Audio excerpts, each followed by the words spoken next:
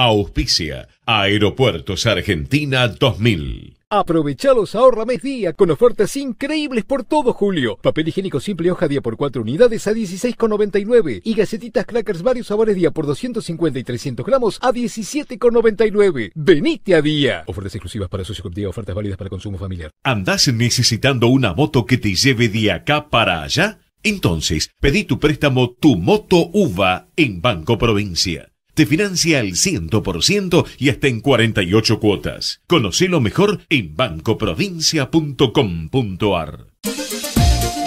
Parque Eólico Arauco es una empresa estatal que genera recursos genuinos al transformar el viento en energía eléctrica y con sus utilidades impulsar el desarrollo productivo de La Rioja a través de mecanismos que permitan hacer sustentable la producción agrícola ganadera en la provincia. Parque Eólico Arauco, presente y futuro.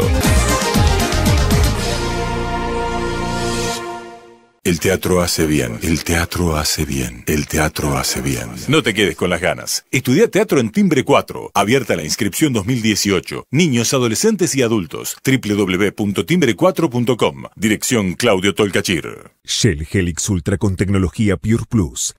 El único lubricante diseñado a partir de gas natural para el máximo rendimiento de tu motor. Presenta. Movistar llegó a tu casa para conectarte con todo Ahora Movistar también es internet en tu casa y teléfono fijo. Tenemos todo para conectarnos.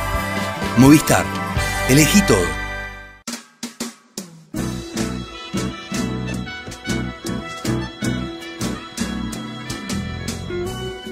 Entrevistas con los protagonistas de la política, la cultura, el espectáculo, la música y el deporte. Un diálogo abierto para pensar desde una óptica diferente. Voces y Memoria, los martes de 20 a 21 con la conducción de Hernán Dobri. A noite fecunda os gritos do seu sangue E ato em silêncio à beira do grito Chego até os restos do seu amor vazio Agora não ahora no. Muy buenas noches, bienvenidos a una nueva emisión de Voces y Memorias. Eh, antes que nada vamos a abrir los, canales de comunicación. Pueden seguirnos en el programa a través de Facebook, en Facebook barra Hernán Dobri o arroba Hernán Dobri en, Twitter o escuchar eh, los programas que, que venimos emitiendo en www.hernandobri.com en el programa de hoy tenemos un, personaje muy especial. Es compositor y bandoneonista. Estudió con Julio Pane, con Guillermo Gretzer, con Detlef Müller-Siemens. Se radicó en Europa hace más de 15 años. Ha tocado con músicos de la talla de Fernando Suárez Paz, Marta Argerich, Guidón Kremer, Britten Sinfonía, Gary Barton, Ute Lemper, la Filadelfia Orquesta, Paquito de Rivera, acompañado a numerosos músicos de tango como Roberto Goyeneche, Libertad Márquez, Susana Rinaldi, Osvaldo Berlingeri, Osvaldo Tarantino, Amelita Baltar, entre otros. Compuso obras dedicadas y estrenadas para el clarinetista israelí Shena Levi. En 2015 estrenó Daniel Tango para violín y ensamble, obra dedicada y estrenada por Daniel Rowland. En 2016 compuso Alberto Tango para guitarra, estrenada en Finlandia por Alberto Mesirka. Ese mismo año compuso Naum Tango para violín solo y orquesta de cámara, estrenada por Naum Erlich, y en 2007 estrenó una obra para cuatro máquinas de orquesta, eh, Tango, en Selsen, Alemania. En 2018 finalizó de grabar su disco junto a Franz, con Falasca, Rey, Agri, Nissiman y Zárate. Se estrenó el, último 25 de mayo, eh, se presentó en el, en el CCK, junto con la Orquesta Sinfónica Nacional y el Coro Polifónico Nacional. Entre algunos de sus discos eh, están Desvíos, Tango Art y una nueva edición de eh, María de Buenos Aires. Hoy nos acompaña el bandoneonista Marcelo Nissinman. Muchísimas gracias por acompañarnos en Voces y Memorias. Un gusto. Bueno, veo, parece que hice bastantes cosas. Y en pocos años. Sí, así es, así parece. Espero que quede algo de todo esto. Sí desde los... De, tenés dos betas, ¿no? La, beta de compositor y la beta de, instrumentista. En, alguna entrevista dijiste que fuiste chico hasta los seis años, hasta que apareció el bandoneón, y a partir de ahí, a partir de ahí cambió totalmente tu vida. Sí, porque... ¿Cómo, cómo, cómo llegás al bandoneón? Porque no es, cuando uno habla de, de- de músicos que, que deciden empezar a estudiar, empiezan a estudiar normalmente los instrumentos tradicionales, guitarra, piano, pero no, tan, no, no es tan normal que, que alguien elija de tan chiquito el bandoneón. ¿Cómo, cómo- cómo surgió esto? Bueno, porque en realidad debería de ser normal, sobre todo para alguien que vive en Buenos Aires. Y antes era quizás normal. Es decir, en la época, yo no nací en el, ni, ni en el 30 ni en el 40, pero en esa época yo, yo, yo sé, lo sé por la gente con la que hablé, de que siempre había bandoneonistas en todos los barrios y en todas las manzanas que estudiaban. Bueno, yo un poco vengo de esa historia un poco más tarde. Es decir, llegó por mi viejo, lo compró y yo simplemente lo empecé a estudiar. Pero repito, como ya todo lo que era eh, el tango y la música de Buenos Aires venía lamentablemente eh, en decadencia en su difusión, eh, cada vez sucedía menos en mi época, ¿no? Estás hablando de mediados de los 70. Claro, claro, claro. Entonces eh, soy una especie de bicho raro cuando no debería de serlo, en realidad. ¿Y qué te atrajo del bandoneón? No sé, porque era muy chiquito. Todas las cosas que pasan cuando uno, al menos a mí, que me pasan que me pasaron así en la infancia, no, no les encuentro mucho el porqué. Era como que estaba ahí. Y quizás fue una intuición y la música siempre estuvo ahí en, en- en- en mi, casa. Eh, entonces, eh, pienso que eh, ya el hecho de ver a mi viejo con el instrumento y, escuchar el sonido probablemente me, me, me atrajo. Yo pienso que fue algo así. E inmediatamente me puse a, a estudiar. ¿no? ¿Y hoy qué es lo que te atrae después de tantos años de, de estudiarlo y de, y de ejecutarlo? Y hoy ya es como, como esos matrimonios viejos. Ya lo que me atrae ya es como, eh, está más allá, es, es parte de mí, es, eh, es casi diría una inercia de una fuerza inicial de juventud y eh, hoy es una máquina para mí, el bandoneón, en mi vida imparable. Entonces está como más allá de- de lo que me atrae. Siempre, al final, ya más como compositor, busco eh, encontrarle otro, quizás otro lenguaje, otro sonido, pero no es algo que yo eh, pretenda que suceda inmediatamente, son cosas que se van decantando con el tiempo, ¿no? Hace un tiempo en una entrevista decías que hay un montón de cosas que quiero seguir desarrollando y hacer. Las hago y muchas veces fallo en el intento, pero sigo adelante. Generalmente la segunda vez funcionan. No me olvido, las continúo. Lo que pasa es que el error es una parte del camino. Pero son proyectos muy lar- a muy largo término, sobre todo la música que escribo y van, y y van tocando y grabando. Entonces quizás perfeccionando lo que estoy haciendo hoy y que se difunda más. Eso me interesa. ¿Qué te...? Ah, mira, eso parece parece bien eso que dije. Sí, eh, sí, ahora que eh, no me acuerdo dónde dónde lo dije, debe haber sido hace varios varios años, pero est- estoy de acuerdo con eso que dije. Muchas veces me pasa que, alguna vez leo alguna entrevista o cosas que dije en el pasado y, y las pienso totalmente al revés hoy. Eh, o no estoy de acuerdo con cosas que ni que hice ni que dije.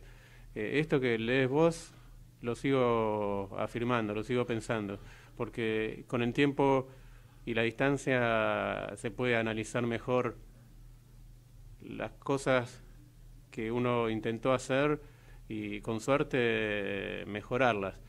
Eh, también, como, como, como bien leíste ahí, eh, los errores son parte también de, de esto, ¿no? Eh, y creo que sigo, sigo cometiendo errores. ¿Y, en qué sentís que errás? En- bueno, en cosas que, que, que me gusta, si querés llamarlo de alguna manera y con un poco de orgullo, perfeccionar. Entonces, todo lo que tenga que ver con, sí, con, con la, la composición, la orquestación, eh, yo siempre pienso que lo puedo seguir eh, rafinando y, y sobre todo con el bandoneón. Eh, entonces, eh, en eso, en eso estoy. Cuando vos me preguntabas antes de entrar acerca de, los proyectos, aparte de los proyectos en concretos, así de, escribir música nueva que tengo para este año y el año próximo, eh, ese proyecto así de, de, mejorar todo lo que tenga que ver con la escritura del, del bandoneón y el bandoneón con orquesta y todo eso, eso siempre está así como, como uno de, digamos, de mis cosas más importantes, ¿no? Hace un, hace un tiempo también decías que empezaste a comprender el bandoneón cuando empezaste a estudiar alemán. Sí. ¿Por qué? Porque, porque el, alemán, si bien tenemos esa idea de que la cultura alemana es una cultura eh, muy ordenada y lógica, lo es en cierta manera, pero tiene un, un, lado que es bastante eh, azaroso y caótico. Y el bandoneón, el teclado del bandoneón está hecho de esa manera. Te doy un ejemplo eh, en el lenguaje alemán eh, la, luna es neutra y no es femenina como en español. Y el sol es femenino. Y en, español es masculino, como todos sabemos, y tiene una lógica. Bueno, en e, esas cosas, a mí cuando lo poco que estudié del alemán me llama mucho la atención y después me empecé a dar cuenta, claro, es como, como estudiar eh, el, el, teclado del bandoneón. ¿Y ahí, ¿Y ahí empezaste a entenderlo más? ¿Cómo, cómo... No, ahí empecé, ahí empecé ¿A de dónde viene? Claro, un poco comprender por qué, por qué el bandoneón funciona de esa manera. Ahora, en, en la parte artística decías que, que tenías una vida bastante cómoda, como, que tenías una vida bastante cómoda como, como intérprete, pero que sabías que tenías muchos límites artísticos y que empezabas a tocar siempre lo mismo y a, repetirte y, ya te, vas asqueando, decías en una entrevista, y que no te gusta quedarte estancado y, que con eso te viste obligado a estudiar y, a lanzarse porque amás la música porteña. Sí. Bueno, asquear es una que lo escucho es una palabra un poco fuerte, ¿no? Pero, pero sí, no, eh, no me gusta de la repetición, de tocar lo mismo, lo único que me gusta es cuando, cuando la, interpretación va mejorando y va evolucionando. Eso, eso pasa mucho en el tango, ¿no? Que, que, o pasaba antes que se tocaba todas las noches y, entonces lo vas canchereando, lo que vas tocando. Entonces lo vas, lo vas, va mejorando, va, va creciendo. Eso, esa repetición a mí me gusta. Por desgracia no la tengo mucho porque en general todos los proyectos que hago siempre van cambiando, van cambiando las composiciones o si no cambian las composiciones cambian los músicos. Entonces hoy eh, los músicos vivimos un poco así. Eh, pero bueno, digamos, en lo que se refiere a la composición, sí, eh, no, no, no, prefiero ir evolucionando, ¿no? Estamos conversando con Marcelo Nísima, vamos a escuchar uno de los, de los temas que, eligió para, para, esta noche, eh, Tanguera, en la versión del grupo France.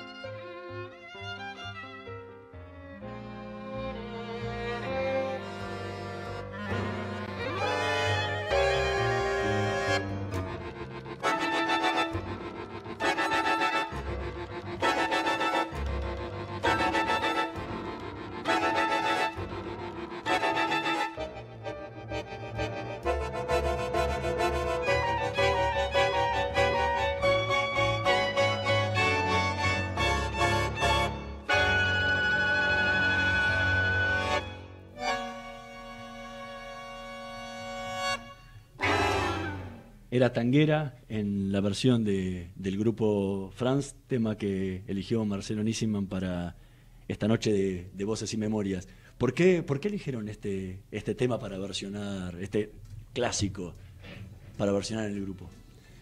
La verdad es así. Es- esto es un arreglo que, que escribí hace muchos años, que se estrenó en Japón. Cuando trabajaba con, con Carlitos, el japonés, como arreglador y bandoneonista, quedó el arreglo eh, para orquesta ahí en el archivo, en la memoria, y cuando empezamos a, grabar con Franz, empezamos a, o empecé a elegir qué, piezas grabar, y este arreglo no lo habíamos, yo no lo tenía ni grabado, lo había tocado alguna vez, pero siempre estaba ahí como, como guardado en el, baúl, así que decidí hacerlo con Franz, por aparte por la manera de tocar de, de ellos, ¿no? Así que ahí, ahí quedó grabado, ¿no? ¿Y qué era lo que buscaban con este, con este, con este grupo, con esta banda de la- la- las grandes glorias de la época, de, de- de la actualidad de, del tango, ¿no? Y ¿qué, qué- qué buscaban, qué, qué- qué buscaban dar nuevo en esta, con este disco y con este grupo que armaron? Con, con, con Agri, con Zárate y Falasca y ahora con, con Rey, pero, pero sobre todo con, con los primeros que nombré, eh, siempre, siempre grabamos y tocamos mucho, Cu- mismo cuando, cuando yo ya no estaba acá en Buenos Aires. Entonces siempre, siempre que, que volvía a Buenos Aires, siempre alguna cosa teníamos para grabar o para tocar algún proyecto. Eh, así que este proyecto Franz es un poco uno más, diría eh, de, la, de la música que estuve escribiendo en los últimos años y con el agregado de que arreglé algunas obras de, de Cristian Zárate. eh, e incluimos también un arreglo de Cristian de un tango tradicional muy, muy lindo que se llama Pablo, eh, que, que que lo arregló Cristian y que yo solamente le agregué el bandoneón. Eh, pero eso es, digamos, un poco Franz. Es un proyecto nuevo que, que tocamos ya en Buenos Aires alguna vez, grabamos eh, y tenemos que mucho camino por, por recorrer, ¿no? Si, logramos meter las agendas juntos. Ahora, hace, hace un ratito y recién mismo hablabas de la cantidad de, de, arreglos y, de composiciones que, que tenés.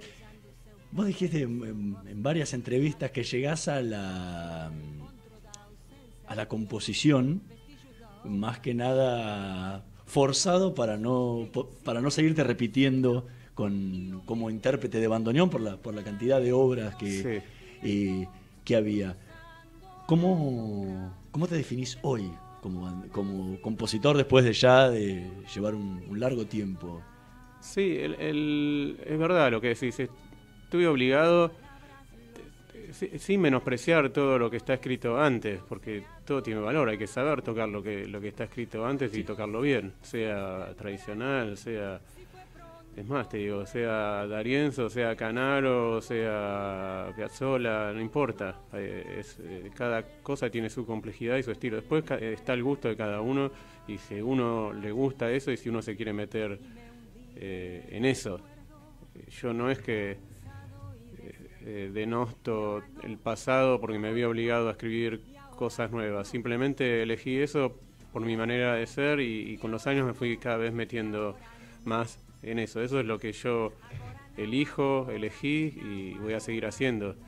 Eh, entonces tiene que ver con, con mi manera de ver el arte y mi personalidad y donde yo me siento mejor. Eh, la música, por ejemplo, hablando de Canaro, de D'Arienzo, de Piazzolla, eh, representan bien a cada uno de ellos. Es decir, la música de Piazzolla, nada mejor que representar a Piazzolla que con su música. Con Canaro, D'Arienzo o Pugliese también, es como una forma, es un, es un lenguaje, casi diría. Y hay gente que se siente identificada con eso. Hablo del público y hablo de los artistas, de los músicos también. Bueno, yo me di cuenta que, que, que necesitaba una música que representase mejor mi vida en Buenos Aires, que como la de todos y cada uno es única. Hace, también en algún momento decías que a- al momento de componer apuntás hacia algo tradicional para después romperlo. Sí. Y que también te dijiste, y, y también dijiste de vos mismo que sos un talibán de lo moderno. Eh, sí, ¿Cómo, bueno, cómo es, eh, cómo- cómo es ese proceso que tenés de, de composición? Bueno, el, el- eso de talibán de lo moderno, ahora no me gusta mucho, pero, pero, pero, eh, no, es decir, creo que cuando hay algo en la lógica que está establecido y que ya se puede prever, mismo una progresión armónica, eh, si, si, si ya se puede anticipar mucho, no sé para qué escribirla. Uno la anticipa y mejor cambiarla. Eso es lo que me pasa a mí. Eh, no es ni ansiedad ni nada, pero bueno, tampoco tampoco que, sea una música que se pueda eh, adivinar. Un gran compositor dijo alguna vez que escuchar, escuchamos todo, hasta los, hasta los patos escuchan, pero escuchar atentamente, ¿no? Sentir, entender qué es lo que está pasando, ahí hay que prestar atención. Y ahí hay que usar mucho la, la cabeza, ¿no? Qué es lo que pasa por el oído y qué es lo que significa lo que está sucediendo, ¿no? ¿Y cómo, cómo es tu proceso? ¿Qué, qué es lo que te inspira a la hora de, de componer? No, es más trabajo que casi diría que, que inspiración. Aprendí a sentarme y, a trabajar con el material que tenga. Quizás ahí esté la inspiración. También depende mucho de las circunstancias y el material. Pero siempre lo comparo al, al trabajo de un, e- escultor que tiene una piedra, en principio, que puede ser de un material noble o no tan noble, y que hay que ir eh, todos los días trabajándola.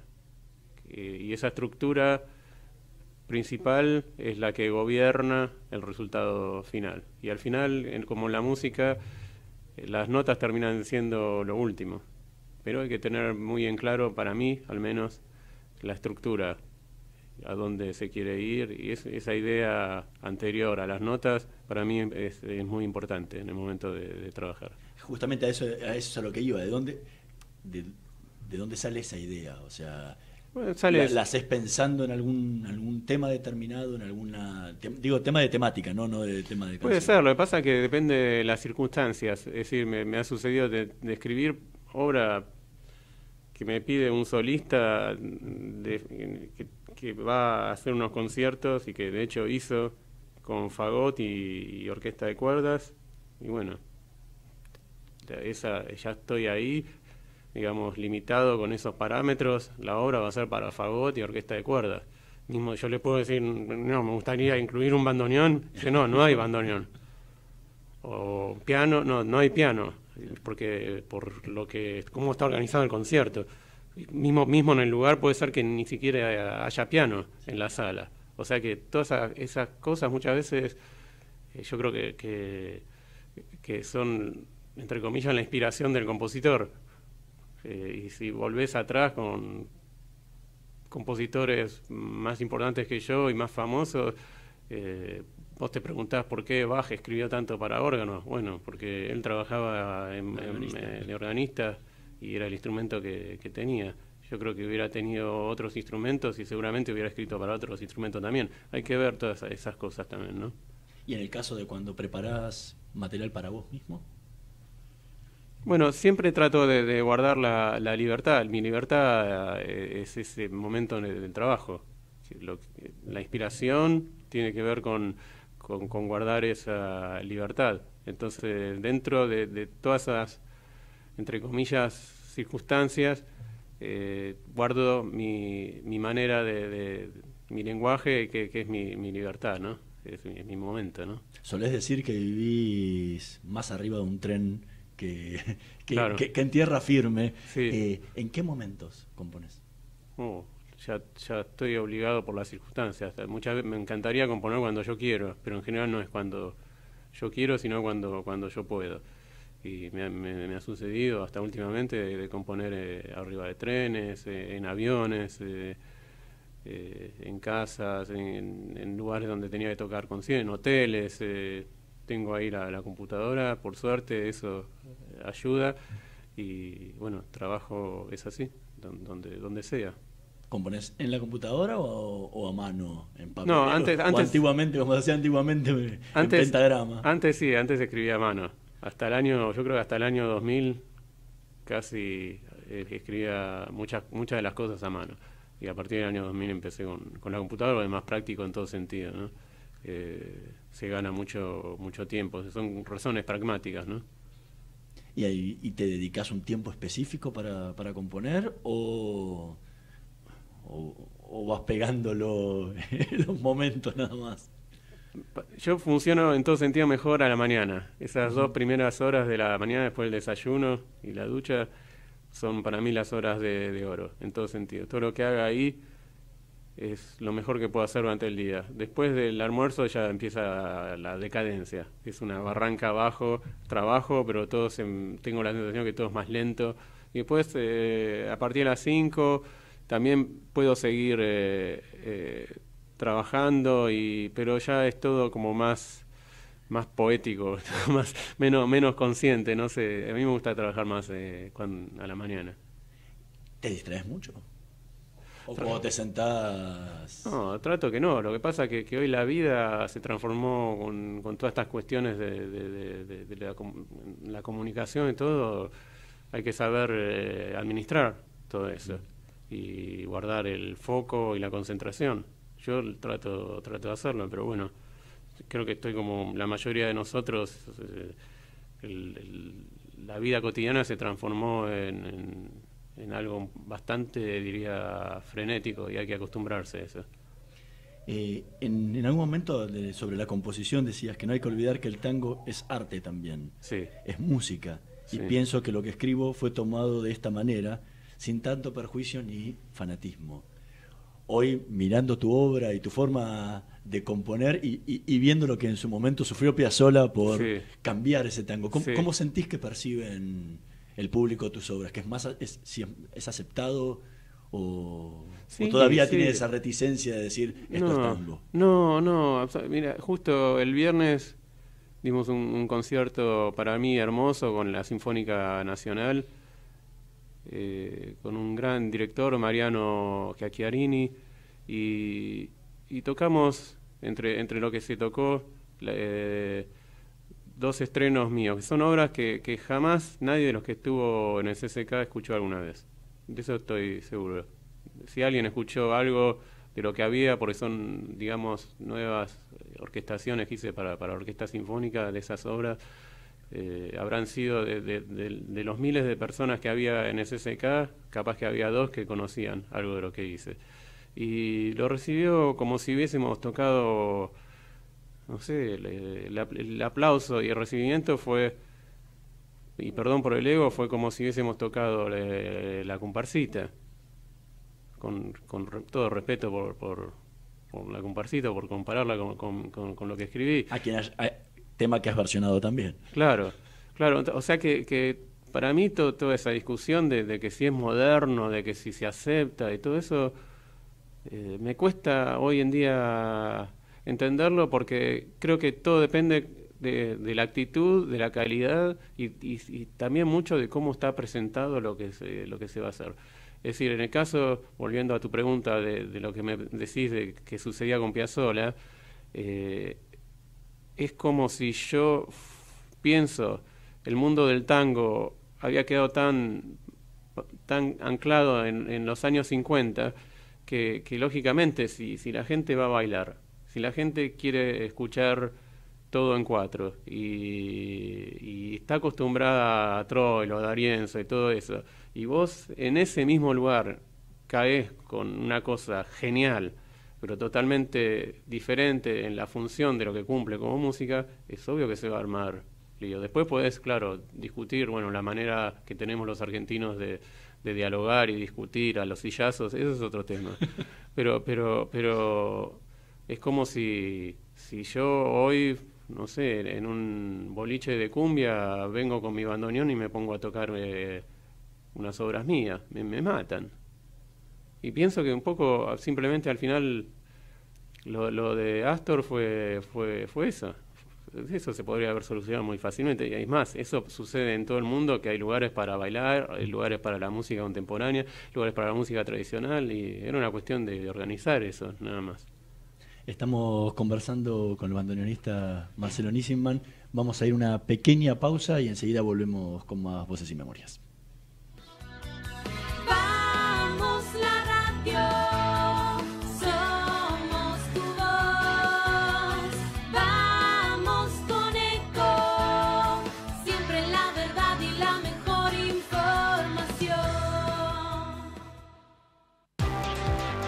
pero qué tarde que se me hizo. Me tengo que apurar porque si no, no llego, no llego, no llego. No. ¿Pero seguro? ¿Qué problema? Eh, bueno, vamos a encontrar una solución. Bancame ahí que en dos minutos estoy con vos. Bueno, vos ahora te tenés que ir. Sí, pero yo quiero hablar de esto ahora. Cuando llegue a casa te llamo. Te... Tres de cada diez muertos en el tránsito son peatones. Cruzá siempre por la senda peatonal o esquina, respetando los semáforos. Allí, todos los vehículos deben darte prioridad. Luchemos por la vida. Descarga gratis de tu celular la aplicación Ecomedios. Podés escucharnos en vivo, informarte con las últimas noticias y entrevistas en audio y video. Búscala y bajate la aplicación Ecomedios. Podés vernos en vivo en ecohd.com.ar. ecohd.com.ar Conectate con nosotros. Twitter arroba Ecomedios 1220. Voces y memoria. Una hora con los protagonistas de la política, la cultura, el espectáculo, la música y el deporte para pensar desde una óptica diferente.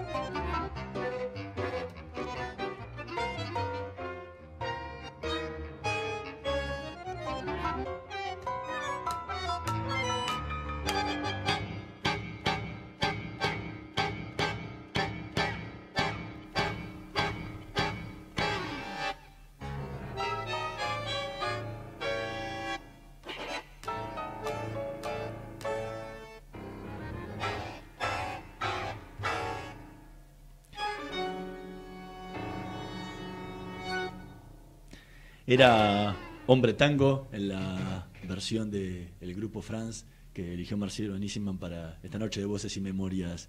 Que, ¿qué, le, ¿Qué les atrajo de este Hombre Tango? ¿Qué nos atrajo?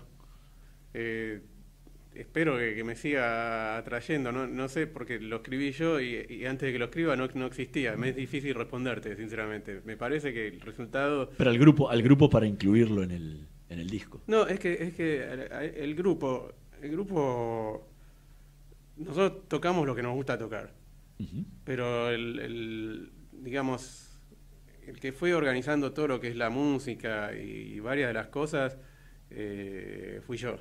O sea que, el, por supuesto lo hago en consenso con ellos y, estoy honorado que lo, que lo toque porque me imagino que si no les gustaría lo, que les propongo tocar o la manera de tocarlo no, no lo ni, ni, ni grabarían ni tocarían. Así que es un, honor que toquen mi música estos grandes eh, músicos. O sea que, que bueno, pero fui yo. ¿Y qué te inspiró a vos para componerlo? Fue un Hombre Tango, nació en Inglaterra, fue un proyecto junto a un gran chelista, Eduardo Basallo, eh, que, que nació en Inglaterra y en realidad se estrenó en Inglaterra. Y al principio cuando lo escribí, que era una de las primeras cosas que escribía, eh, mucho no, no sé, no sé si no, se entendía bien y no estaban tampoco los músicos así como súper excitados de de, tocar esto, pero yo seguí adelante, después lo seguí tocando y empezó a, sonar Hombre Tango. Hace, hace un tiempo dijiste dos frases que, las voy a unir para, para la pregunta. Hablabas de, decías algo indudable, que Piazzolla es un genio y lo que hizo fue mostrar una visión acerca de la música y de Buenos Aires. Y que por el otro lado, con Franz, decías que eh, no estamos en una falsa postura revolucionaria, sino que lo que simplemente encaramos es una forma de hacer lo que nos representa y a nuestra manera la música de Buenos Aires. ¿Cuál es la visión que vos tenés de lo que es la música de Buenos Aires? La música de Buenos Aires son, son muchas cosas, muchos músicos, muchos artistas. Yo te puedo decir la mía, que, bueno, que es, es, la que la que yo veo lo que es Buenos Aires para mí. es yo también vengo de otra generación, ya con el tiempo, y es otra historia. Quizás yo pienso que tuve la, fortuna de, vivir y, tocar y trabajar con, gente que, tuvo la época, que vivió la época gloriosa del tango, como son Berlingeri, por nombrarte a uno, Goyeneche, eh, haber conocido a, Piazzolla, eh, tocar mucho con Negro Lavie, bueno, un, montón de grandes artistas que de chiquito tuve la fortuna de, trabajar y tocar. El tiempo y, Argentina cambiaron, las épocas cambiaron y espero que eso se vea reflejado también, y creo que se ve reflejado en, la música en Buenos Aires. Entonces hoy tenés un montón de, artistas que, hacen tango y que, que, hacen que, la música suene diferente. La mía, al final, más allá de Buenos Aires, como te decía, tiene que ver con mi historia, una historia de mi familia y, mis experiencias en Europa y, creo que todo eso se, se refleja ¿no? en lo que hago. Dijiste en algún momento que hay cosas que se pueden escribir y otras que no. Otras no existen en Europa, existen en Buenos Aires. Sí. ¿Y cuáles son esas cosas que existen en Buenos Aires? Bueno, al revés también, es decir, cosas que existen en Europa y, que, no existen en, Buenos Aires. Es decir, las de Buenos Aires son... Esas que te llevas, que te nutrís cada vez que venís a Buenos Aires, porque el resto de tu vida pasa, pasa por Europa. Claro, es como, es como... Creo que el ejemplo de los dialectos o la manera, suponete, vos querés aprender a hablar en, en lunfardo. Y bueno, ya casi no existe el lunfardo pero puedes encontrarte con gente que todavía conoce, pocos que conocen cómo hablar en lunfardo. Vos para aprender eso tenés que venir acá a Buenos Aires, encontrar a esas personas, estudiar y hablar con ellos y lo vas a aprender. Al revés es lo mismo, si querés hablar un dialecto del siciliano, por ejemplo, o napolitano, y tenés que irte ahí y lo vas a aprender. No, quizás no llegues a ser nunca un napolitano, pero lo vas a, lo vas a aprender pero se aprende todo eso viviéndolo, hablándolo y mucho de oído. Y el tango todavía tiene mucho de eso, el tango que, que, que yo aprendí tocando, es- esas cosas que, que tenías que, aprenderlas de, oído y, tocando. No sé, con Osvaldo Tarantino tocaba y, él nos escribía muchas de las cosas que había que, adivinarlas, tocar con él, ir haciéndolas. Bueno, esa es la, cultura linda de, de Buenos Aires, ¿no? Recién cuando, cuando hablábamos de, de hombre tango decías que muchas veces lo, que, que las primeras veces los músicos o por ahí no lo entendían o, o, eh, lo que querías expresar justamente con eso. ¿Cómo, cómo le transmitís a músicos europeos con los que solés tocar que posiblemente nunca hayan venido a Buenos Aires? En algunos casos por ahí sí, pero muchas veces no, Mm. no vinieron a Buenos Aires este espíritu que estás explicando. Bueno, el espíritu para mí, en ese caso, está en la partitura. O sea que si, no está en la partitura, va a ser difícil que, se los pueda yo transmitir. Yo no intento eh, enseñarle nada a nadie, y menos en Europa, de, de donde estoy constantemente aprendiendo. Pero quizás sea más la actitud. Eh, ya, y aparte que ya conozco mis obras, en este caso Hombre Tango lo conozco, entonces trato de ya dejárselos, dejarles a ellos el espacio para que lo comprendan. Y en, el caso de los músicos europeos, si está bien escrito y claramente escrito y bien organizado, ellos a partir de ahí van a tener mucho espacio para darles su sonido personal. Pero yo, yo ya hace años que no, intento eh, enseñarles, entre comillas, el lunfardo a los músicos europeos, porque es una tarea eh, difícil, no hay tiempo para eso y, y- al mismo tiempo, no sé si, si me interesa, pero sin, sin despreciarlo. Eh, creo que busco el arte y que suene por otro lado, la música y que siga siendo música de, de Buenos Aires. Hacerlo de manera como tradicionalista es, es casi anacrónico, diría. Eh, cuando hablas de tradicionalista, ¿hablas del tango tradicional o de...? Sí, tratando de que suene como, como, como es, el tango tradicional. El tango tradicional ya pertenece eh, a, tantas décadas atrás que, yo no sé qué, qué podría hacer yo mejor de lo que hicieron esos músicos como Franchini, Argentino Galván, Jaime Gossi, te, te podrían nombrar Gobi, un montón de músicos. Y ya lo hice, esa manera, eso lo hicieron ellos. Lógicamente que hay que aprenderlo y saber tocarlo. Pero bueno, yo busco la mía a partir de, todo eso y con los músicos de, de Europa busco también eh, transmitir todo eso, ¿no? En, en tu caso, y, y- y siempre está la, la comparación con, con Piazzolla al lado, a, a quien conociste Mm. de, de chico, porque los dos son compositores, los dos son bandoneonistas, eh, y, y era claro, cuando Piazzolla tocaba, era el sello Piazzolla, más allá de su propia obra, que estaba también en, en partituras y todo, estaba el sello Piazzolla a la hora de ejecutarla. Sí. ¿Cuál es el, cuál es el sello Nisman a la hora de, de ejecutar sus obras? Uy, que eh, me pones en una situación, digo, es eh, un poco hablar de mí mismo así.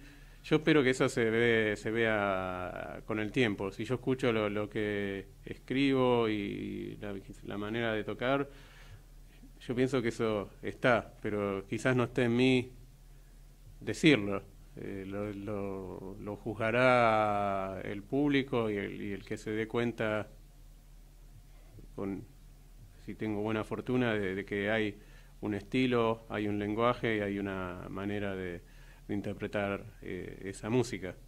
Yo, yo creo que, que existe, lo dirán, lo dirá el, el público, eso en el futuro, espero. a la hora de componer tenés toda una idea en la cabeza que plasmás en la partitura y, y se lo transmitís a, la- a los músicos. Mm. ¿Qué sentís vos al momento de ejecutar tus obras? Hmm.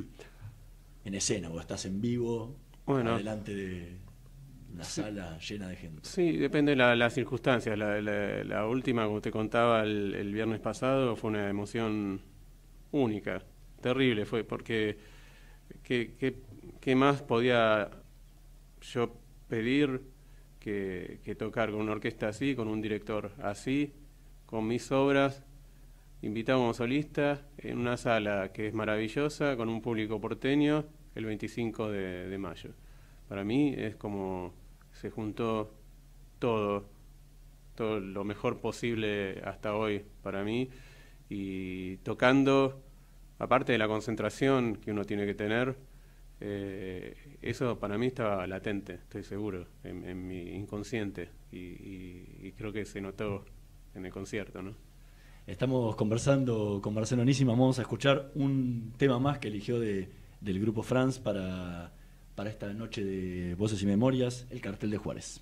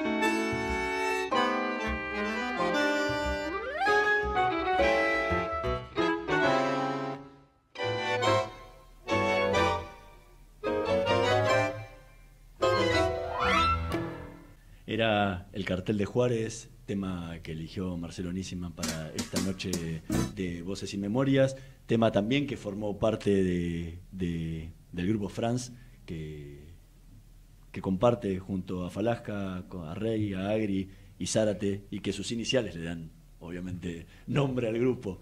Eh, ¿qué, qué te inspiró en este cartel de Juárez?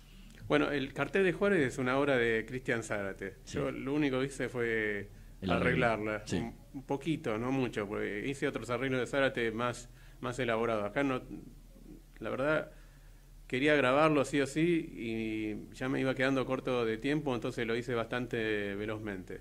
De todas maneras, eh, estoy contento con el, el resultado. Lo que me inspira es eh, Cristian Zárate, es decir, eh, lo que es como compositor, lo que es como arreglador, lo que es como, como pianista de tango.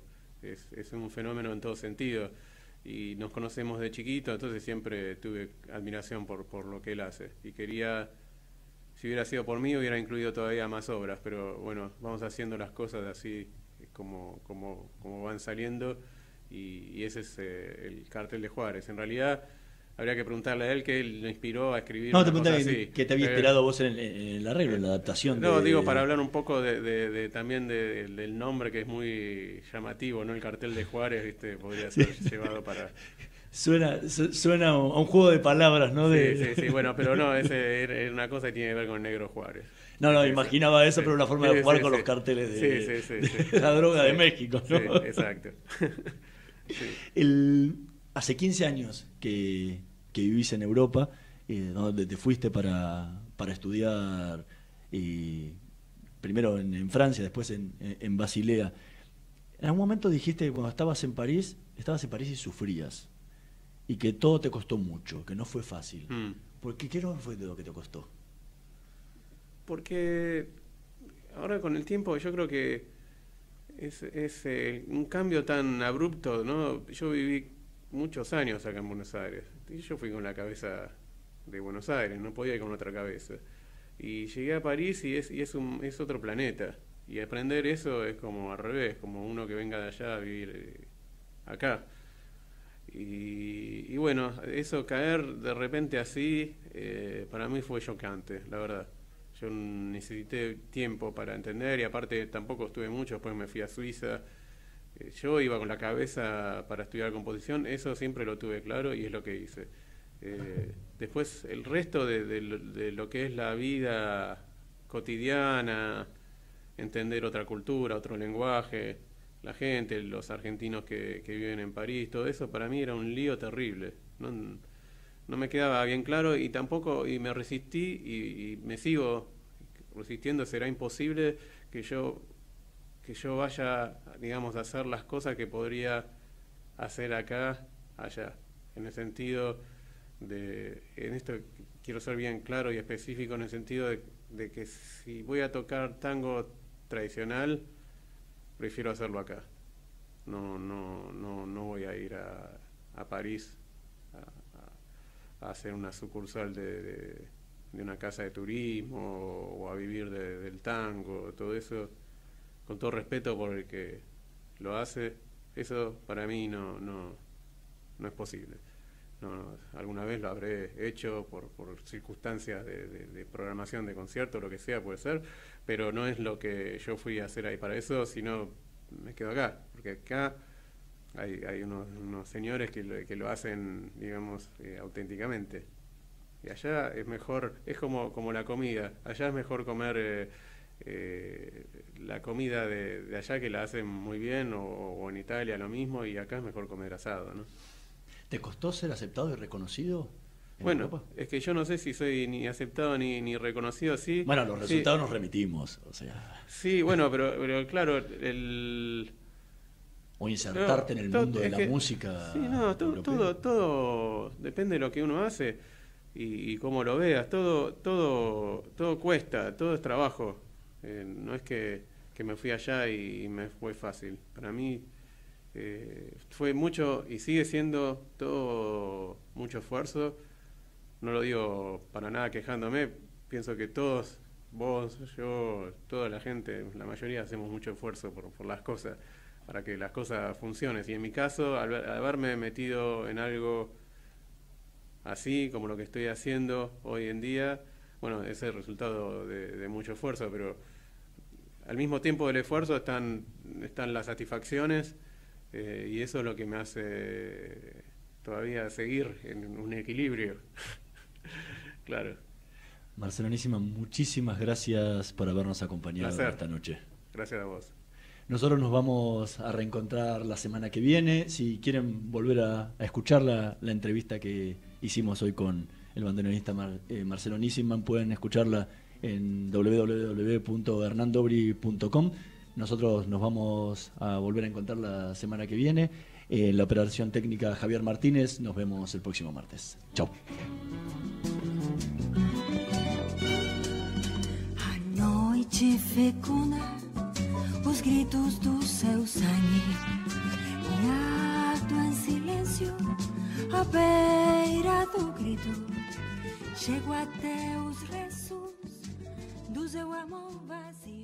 Auspicio Aeropuertos Argentina 2000. Aprovecha los ahorra mes día con ofertas increíbles por todo julio. Papel higiénico simple hoja día por 4 unidades a 16,99 y gacetitas crackers varios sabores día por 250 y 300 gramos a 17,99. Venite a día. Ofertas exclusivas para socios con día, ofertas válidas para consumo familiar. ¿Andás necesitando una moto que te lleve de acá para allá? Entonces, pedí tu préstamo Tu Moto UVA en Banco Provincia. Te financia al 100% y hasta en 48 cuotas. Conocelo mejor en bancoprovincia.com.ar. Parque Eólico Arauco. Arauco 1 es un hito de independencia energética para La Rioja, uno de los primeros en tener la mayor capacidad instalada interconectando al sistema nacional. Un cambio de paradigma en el desarrollo de la provincia, representando la confianza en la industria local y la convicción hacia un desarrollo sustentable. Parque Eólico Arauco, presente y futuro.